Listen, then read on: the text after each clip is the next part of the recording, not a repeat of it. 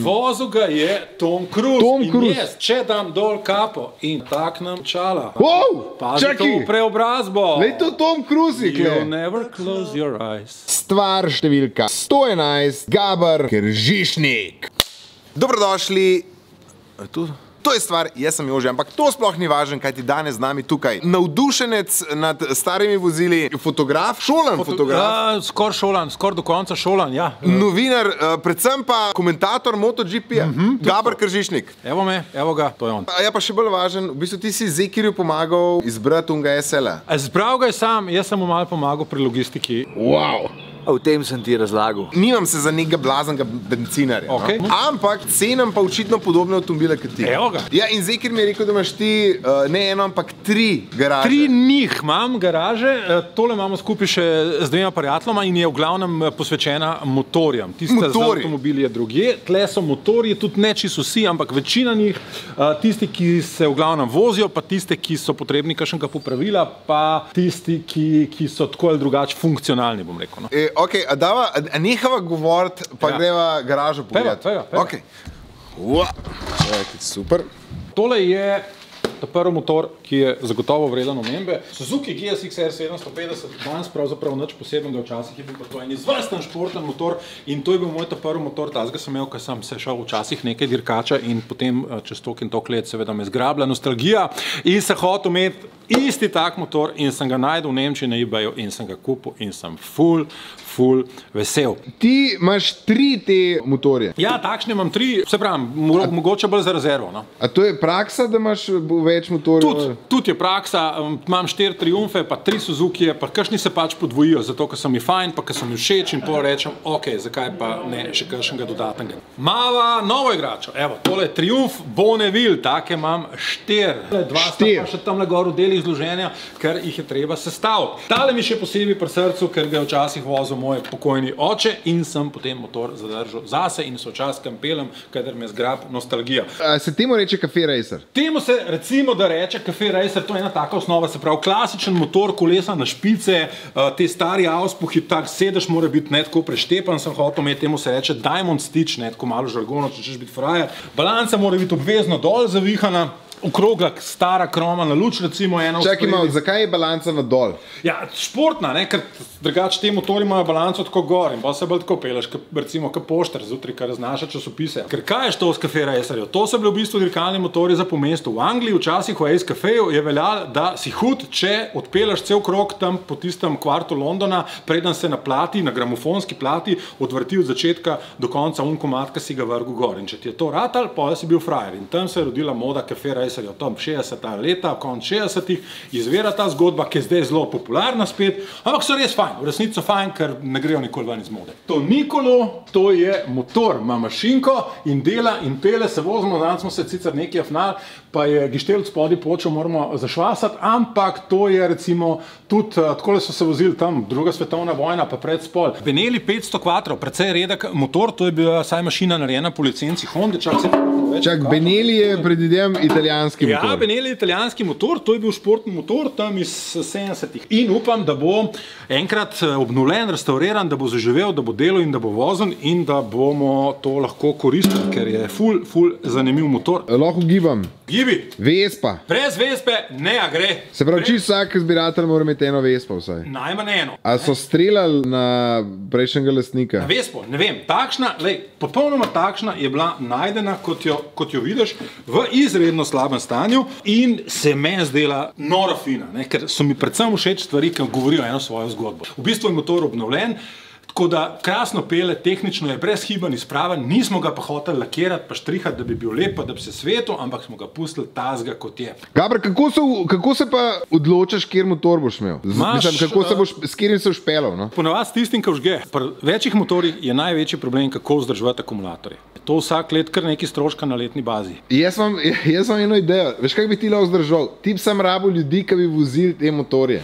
Sej jih imam, ne? zato se Dušan, pa Jaka, pa frendi mojo čast tudi s kakšnim mojim motorjem pelajo in sem full vesel. Mislim, jaz, jaz recimo bi z veseljem, ja, kdaj pelal? Uh, pa če vi isto bi naredili, tudi napišite spodaj. Ne? Prid, če imaš kakšnega, ga bomo žrebali, nagrajenca, kakšen dober predlog dal, damo dva motorja ven in gremo en krok po Ljubljani. Puh, Kaj je to?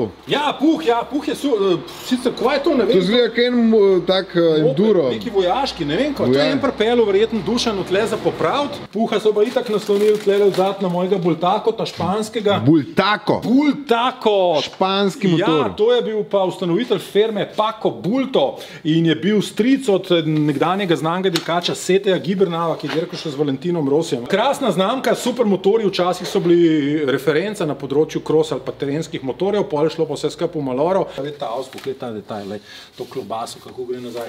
Full fini in tudi ta bo doživel svojo obnovo, upam, in bo zalaufal enkrat in ga bomo imeli za na Moto Deluxe, ki se v lepi žogi enkrat na let pol dobimo in se vozimo s temi starimi motorji in zasmrdimo celo šiško in se nam zdi full eminentno. Mislim, da smo čist hudi. Sej ste. Gabr, kaj je po- pod to rjuho dol? To je pa Kawasaki GPZ 900R. To je pa zanimiva zgodba. Ko so snemali film Top Gun, so, so, so firmo Kawasaki prosili, če jim da ali pa posod dva motorja, da bo imel za film posnet. In pri Kawasaki so rekli, kdo ste zdaj videli, vi ste ker malo motorja, še en kval, pa dejali okol, ne. Kupite ali pa nič, ne. In so rekli oni prav. In so šli in so dva motorja res kupili tam pri enem dealerju in so te nalepke Kawasaki potegnili dol.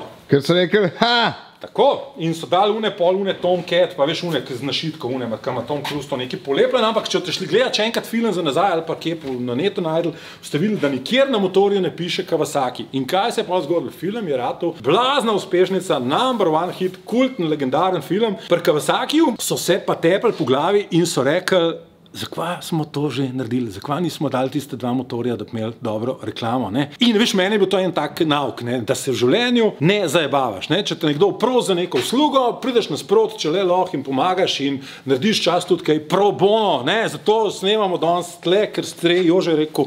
Gabara, bi, sem rekel, bi, ne, ker kvasa, evo, ka- kdo ve, če, Prav- kdo ve, če ne bo slavna, ravno zaradi tega videa čez nekaj let, ne. ti upaš, da je mogoče stvar naslednji Top Gun. Nikoli ne veš. Never close your eyes. Registrirani pa moji motori niso, imam preizkušnjo tablico, kadar se grem kam pelat, ker bi bilo enostavno preveč registracije. To bi bilo na letni bazi, ne vem, 10-15 registracij lahko in to potem pozabiš, pa poteče, pa pol dobiš kazen za, za to, ker nisi tablice odjavil. Gabr, a tole je pa tvoj working horse, kako se V temu bistvu je reče. pa to working horse, ja, BMW GS, pa mislim, da noben ta prav motorist ne more, ker to je pa ultimativen potovalen bajk, imam tudi kovčke za prstran. Uh, je še ta stara edicija, ta zadnji, ki je bil zračno hlajen, ker pač smo fani zračno hlajenih motorjev. Zakaj? Je zra... Tako, ker je to pač old school, ker te vodno hlajeni, to so zdaj neki model.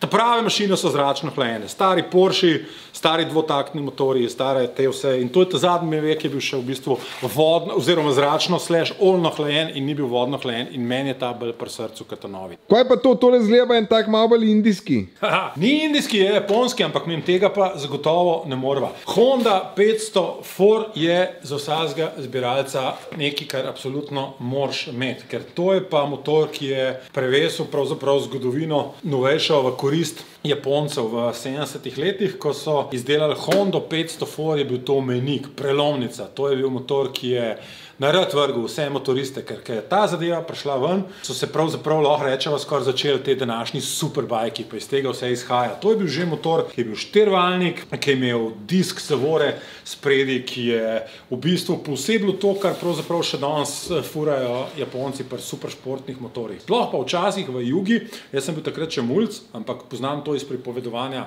starejših motoristov, seveda ti nisi mogel motorja voziti, ker država tega ni dovolila, ker motoristi so bili neprijatelji države in je bil voz motorjev prepovedan.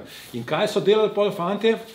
Pripeljali so motor na šverc, največkrat napisan na kakšnega invalida, na kakšnega zdomca, ki je delal v tujini, pa je imel pravico to pripeljati nazaj, ko se je vračal, in so pol imeli motorje na druge ljudi pisane in so plačevali dovoljenja, da so lahko uvozili eh, motor na kakšno osebo, ki je imela to možnost. Ampak ker je pol država pogruntala, da je to šlo za eno vrst- vrsto goljofije, so hodili po domovih, zvonili, če so vedeli, da je kakšen motorist, ki imaš motor, odprli garažo, naložili na kamion in zaplenili motor in so motorje pobirali. In so jih fanti v take Hondice mogli skrivati. Poznani so primeri, ki so kakšen motor kar zazidali za 5-6 let, pa skril, pa to, ker so bili tako prestrašeni, da ga najo vzeli in so pol motori obstajali po nekih garažah. Ok, tole je zelo uh, dobro vprašanje. Kaj pa vi mislite, kje je bolj štale, trdeč, spimpan do konca ali recimo tale spatino, old school, original, človek se stara, ne gremo na lifting. Uh, povejte, napišite spodaj v komentarjih, uh, zanima nas vaše mnenje, vaše mnenje šteje. Abšlesanje, oksidiran. Poglej, tam posnejem, ko benzin teče, da se vidi, da je to res daril. Le tam flek dol, če motor nima fleka od spodaj, to pol je kar nekaj. Gabr, uh, a si tudi uh, Austin Powers fan? Ja, sem, absolutno. Pa Sej fan- to se vidi. Pa fan sem tudi angliških motorjev in starih skremblerjev. Le, tole je triumf. Scrambler, temu se reče Scrambler. Temu se reče ta prav skrembler. Zdaj, zakaj? Zato, ker skrembler je bilo včasih oznaka za v bistvu enduro motorje oziroma za take pol off-road pa pol cestne motorje. Ravna balanca, Čakaj, da pokažem. No. Ja, Ravna balanca. Ne, za razliko od unaprej, tukaj je ravna balanca, teleskopske vilce z malo več hoda, kar pomeni, da dovoljujejo vožnjo po terenu in obavezno ne, auspuhi po motocross stilu na gor speljani, da po tleh ne točijo na skokih ali pa na terenu. Pa klasika je, veš kaj je fajn pri klasičnih motorjih, da ne grejo nikoli iz mode. Starejši, ki so, bolj so zanimivi. Zdaj ti kupaš nov motor, full enga denarja, čez tri leta pride nov model, noben več onga starega noče, ti si žalosten, veliko te je koštal in si želiš si novega, boljšega, tako pri motorjih, kot pri biciklih, pri avtomobilih. Če pa si mahne na stare stvari, ne, je pa saj ta uteha, a veš, da prvič ne stane prav veliko, drugič je pa vsak let bolj zanimiv. Ne, in del, ki ga imaš, bolj je kul, cool, bolj je fajn in tepe skozi bolj zanimiv. In to, veš, ta cikl je precej boljši kot pri novih stvareh. Zato so stare stvari zanimive. Tale je moj najljubši v tej garaži. Kaj pa veš, napišite spodaj, napišite in mogoče bomo prav tizga, oziroma tizga, ki bo največkrat uh, objavljen, ga lahko naredimo ekstra epizodo, kjer bomo samo o tistem motorju govorili. Ma moram ta jajca odmakniti od mojega prijatelja Zekirja. A, na, našega prijatelja Sem Zekirja. zalekel, ne, ker ga je uspešno zaribil, mislim, tip je šel zaribati motor. Ijoj! Kawasaki barva. Kawasaki KZ1000 ELR. To je pomemben. Eddie Lawson replika. S takimi motorji so včasih dirkali in to so bile ta prave dirke. V Ameriki so s tem začeli dirkanje v razredu Superbike. Ravna balanca, navite mašine, cel kup starega železja. Uh, tukaj ni Akrapovič, ampak je Vincent Heinz Auspuh, sam zato, ker jih Akrapovič tistega leta še ni delal, ker še ni začel svojo firmo in je bilo včasih do takrat zakon, ameriška firma Vance Heinz. In ta motor sem hotel pa imeti in smo ga naredili. Je Dušan mi pomagal in smo dali vse na nov pobarvati, vse zrestaurirati, na nov pobarvati kolesa, na nov zrihtali mašino, razdrli, spedenali, da je čista replika tazga, kot ga je imel Eddie Lawson, tovarniški voznik Kawasaki, Steady Eddie je bil njegov nadimk in je ta motor danes blazno cenjen, te originalni imajo full hudo ceno, ta žal ni. Dosti dobro smo ga skopirali, tudi nalepka, Superbike Champion 81-82 je na tanku, to nalepko smo pofejkali, ampak je motor skoraj da identičen originalu. In to mogoče celo motor, na katerega sem pravzaprav najbolj ponosen, no? čeprav se pa najmanj z njim vozim. Neki bremze še nagajajo od spredja, ampak tudi to bomo zrihtali. Ja, neč, to je to. To je Na to. hitro smo šla čez eh, garažo številka Ja. ena. Kot, eh, kot rečeno, vi spodaj napišite, kaj bi rajš, mogoče kakšen detajlen pregled, ogled, popis enega od motorjev, ali rajš, da gremo direkt na garažo številka dve ali pa garažo številka tri. Ali pa tudi napišite, da je vse skupaj brez veze in da tega na noben gledu in da mora kaj drugega. Ja, sem to pol jaz. Vse verjetnosti izbrisal, ampak Okay, lahko tudi, lahko tudi to napišete. Vaše mnenje šteje. Predvsem je važno, da napišejo, ne? Pred- ja. da nisi indolenten, ampak da sodeluješ. Tako, bodite del nečesa. Tako je. Bodite del- se opredeliti in prevzemite odgovornost, tudi vi. Točno to, kar je Gabor rekel. Kje gledamo te na popu? na MotoGP, kanalu? a, na popu in na kanalu, prenosi dirk so na kanalu.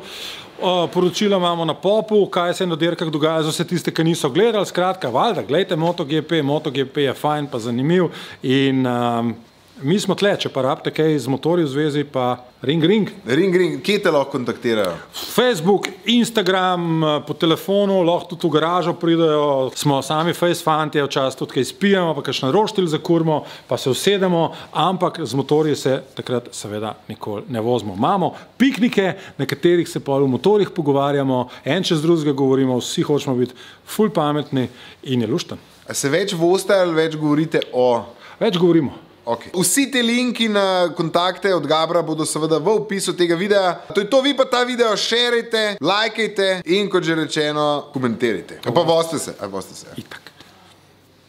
Čau!